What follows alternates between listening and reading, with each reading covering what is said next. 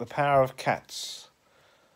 Here I am sitting with my cat, who's now purring, purring away.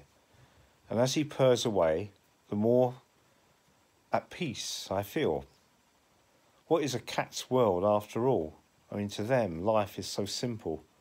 They eat, they sleep, they do their business, and then they just relax. And that's it, really. That's their main objective.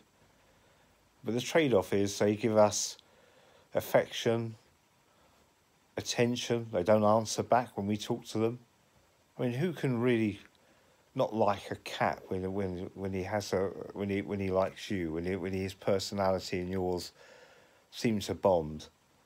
I've had my cat for seventeen years, and as I've been listening over the past twenty minutes or so, while my wife has been telling me about objectives, goals, and what she wants to do, I've heard my cat on the other hand in the other ear purring away.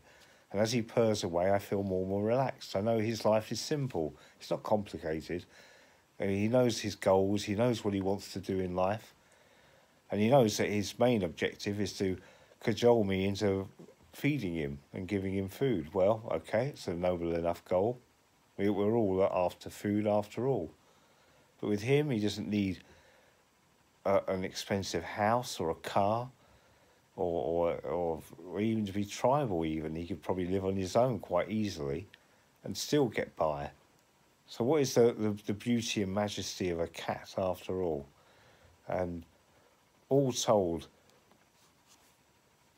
the only thing that really bugs me about him is that I've got to keep on brushing brushing him and getting the hair off of him and also that uh, I have to clean his dirt tray every three days or so, and then I then have to feed him. But I mean, that's that's small beer as to the amount of relaxation and calm he brings me, even more than I could do.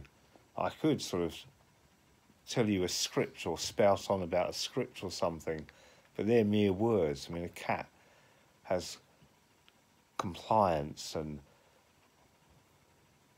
satisfaction and uh, calmness about them, especially when they've been fed. And they go about their lives, they're not hurried, they don't have objectives or deadlines or anything like we do. The only time they do communicate with us is when they meow.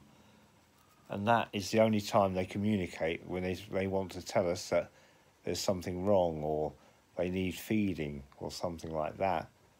But other than that, it's just the purring, the purring, and maybe the odd, the odd row with the other cat. You might hear the odd scream from him, and uh, they're having a cat fight. But this one doesn't have any fights with anyone.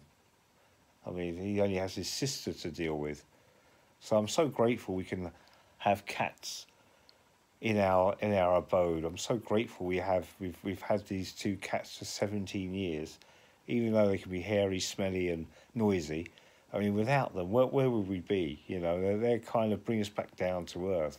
They're our communication with the animal kingdom, and basically, it's an alliance. I know they could do without us if they really wanted to. Could we do without them? Well, hmm, your answers on a postcard.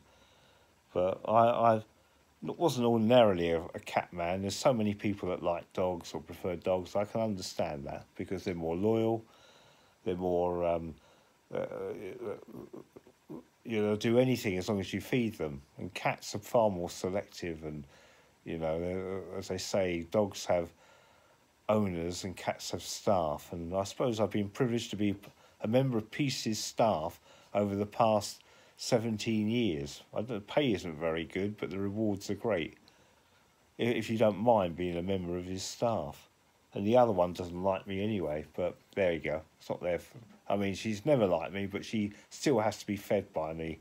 And she always looks at me as though I'm some sort of alien or something, or something from another planet. Or perhaps she is from another planet. Perhaps cats are aliens. They are true aliens. You don't need aliens, you've got cats.